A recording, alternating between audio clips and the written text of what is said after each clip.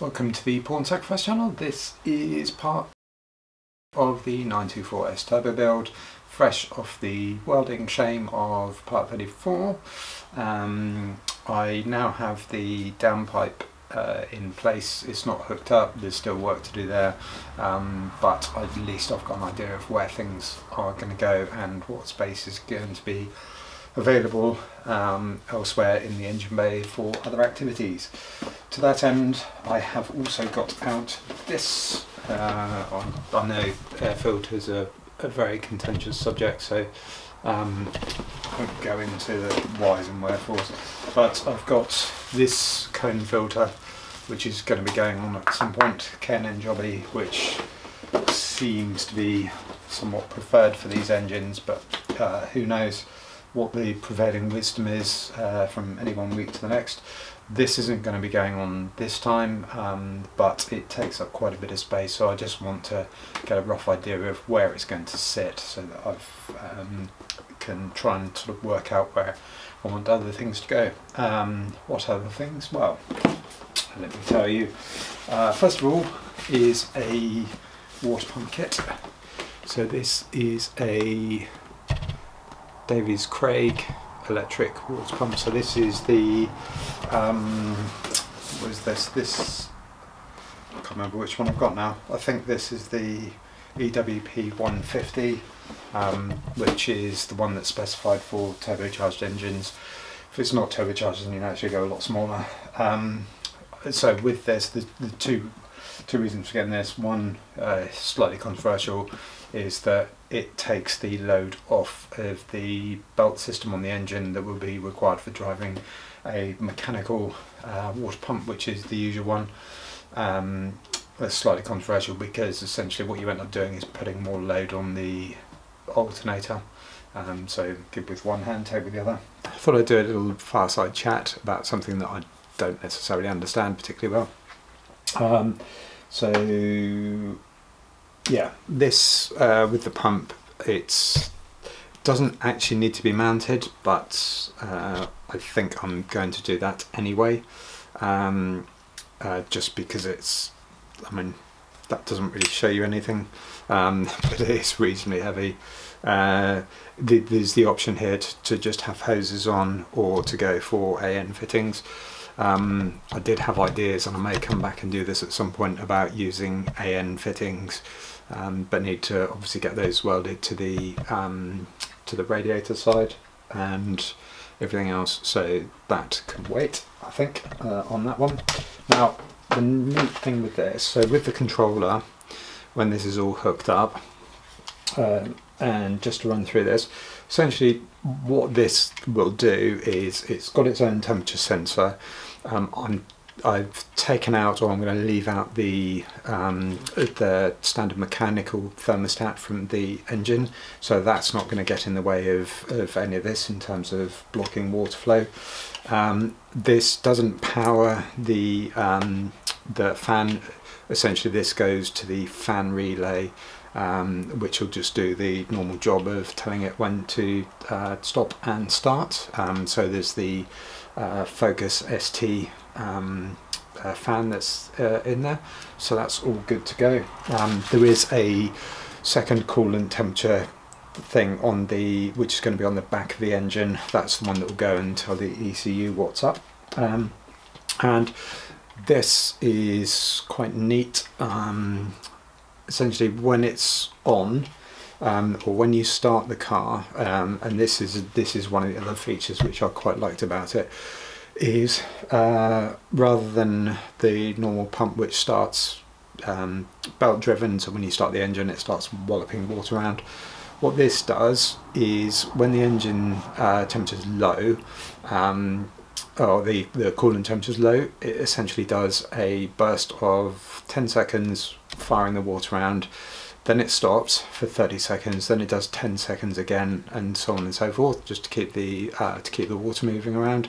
Uh, and what it does I think when it's 20 degrees Celsius below the target temperature so you set your target running temperature um, uh, someone when it uh, reaches that point I think it's 20 degrees yeah, um, then essentially it does uh, 10 seconds on, 10 seconds off. Um, and when it gets to within five degrees, uh, then it just runs normally, uh, which is great. And then when you hit the temperature, the, the highest temperature that you would expect, um, that's when it does the usual thing of the, the fans, the pumps running running constantly and then the, the fan also kicks in.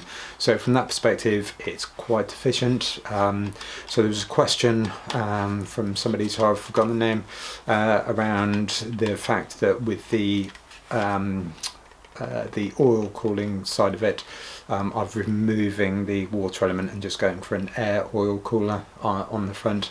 I'm hoping the fact that this is going to be more efficient will also help manage the oil temperature, both in terms of bringing the temperature up, but then also maintaining it as well. Um, but I'll keep that under review as I've said before.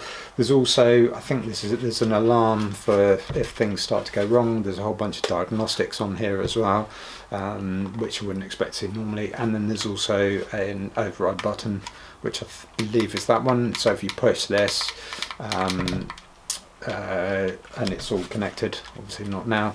Uh, if you push that, that's when it then starts to go, um, not necessarily go bananas, but it will just, the um, fan will come on and the, um, the coolant pump will trigger uh, as well.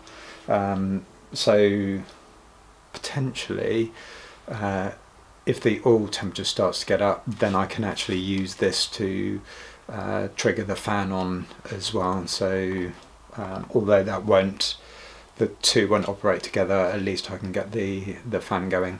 Um, I just need to get a battery that's going to hold up to all of this. So that's where we go. So now uh, I need to have a look at seeing where this is going to be placed inside the engine bay. Right, you can kind of see the space issues that I'm going to have, bearing in mind that this is going to need to live in here somewhere. I think um, I've got belts going across there, I'm going to have to put some brackets on a few of these things to keep them off the belt. Um, and yeah, I'm going to try and leave that side for air stuff and over here what I want to do is try and get this basically down there. Um, partly I think what I'll do, let me have a look and see, I think if I can get it down and then just aim it backwards, that hose has then got a short trip out the back. Uh, yeah, so that's in. So if I mount it down there somewhere, so I'm thinking what I'll do is just basically, because this is not needing to be tied, um, is if I take a bracket off of this rail here, so hose across, in, and then just out and then into the water pump. This is going to be super tight with where everything's having to go. I'm slightly concerned about any heat transference from the coolant water going through, but it's been through the radiators, so hopefully it won't be too bad. There's one hole here which was for the um, P-clamp for the cables. So uh, what I'm going to do is use this second one as well and then just have these two holes and then get something which will go down over the side and just get that into place.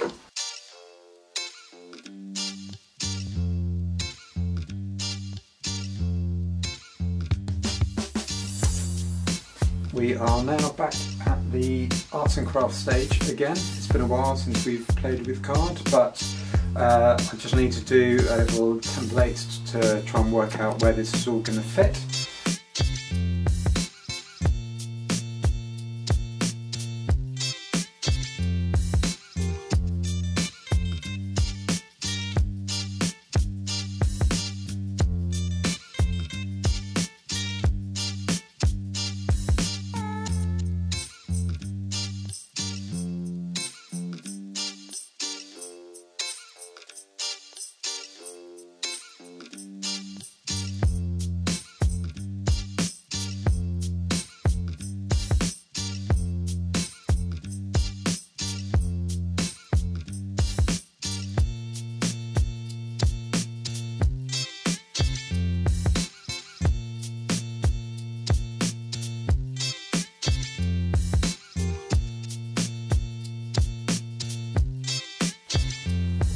So I've got the bracket mounted, um, bolts in there nicely, the little stud things that I hammer down on just to mark the position.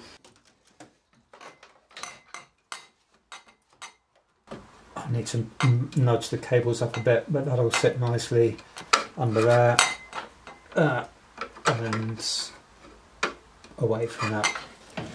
So that's all good.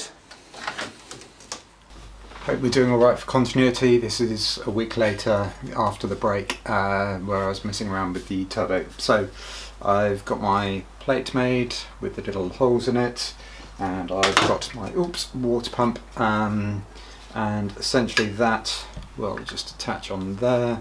Water in, that's the front of the car radiator, water in, water out to engine. And this has got I'll show you here. Some very small holes from which to attach it to the uh, engine. So you can see those just around the edge there. Pull focus nicely. And I've got these tiny little 3mm um, fasteners to go through there. And then some nylock nuts to hold them on just because they're so small. I um, uh, I don't want to be doing them up too tight and with the engine vibrations I don't want them working loose over time. So I have got a 3mm drill bit ready to go which is the right size and uh, yeah so um, I just need to get that drilled and mounted. There's probably going to be some um, dampening which I'll put under here uh, at some point just to dampen the vibrations, although I'm sure that's fine. Um, uh, so yeah, I just need to get a few holes drilled uh, and then get this back on the car and then I'll just have a look at the routing for the wiring, although obviously not much else is going to happen with that just yet.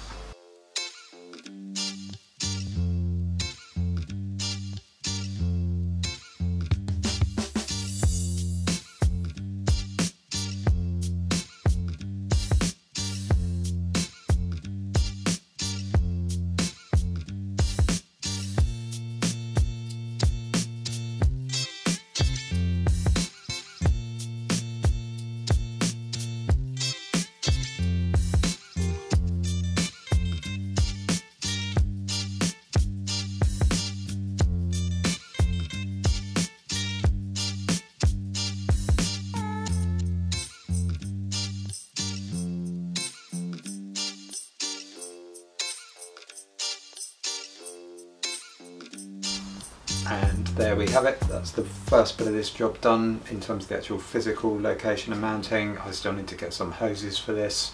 Um, but as you can see here without the uh, intake uh, pipe in the way um, it's mounted there nicely. And we've got the um, cable just coming out of the top there um, through the routing for the other stuff. So I need to have a look at that now and just see what the um, the loom part looks like and where I need to just route that through uh, into the car. Okay, we haven't been in the car for a while. This is this is quite cool. Although it always takes about five minutes to get the damn camera set up. Uh, just a little peek behind the curtain there. So um, the idea had been now that the the water pump's in place and, and sorted there. Um, the I was going to hook up the or basically pass through the temperature sensor and the pump uh, leads as well. But the connectors on the end are actually quite bulky. So instead I'm going to wait until the cables are coming back through when I'm doing the electrics because I need to have a look and see what I can pull out of the Porsche loom um, so a lot of the engine stuff doesn't need to be in there so let's get rid of it and save some wiring and save some weight. The other bit uh, which has prompted me actually is the um, the live on here. I was thinking that needs to go through but actually the battery is going to be moved into the back of the car um, I still need to do that. I've got the relocation kit. What I need to do is get a battery that's going to go in here so something a bit newer um, either that's properly vented or a dry cell battery. So we will see on that.